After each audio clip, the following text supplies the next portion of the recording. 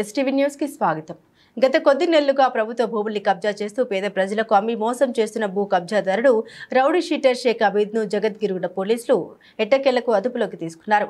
ఇప్పటికే అబీద్పై పదహారు కేసులు ఉన్నట్లు గత కొంతకాలంగా పోలీసులకు దొరకకుండా తిరుగుతూ ఉండగా అతన్ని పోలీసులు అరెస్టు చేశారు.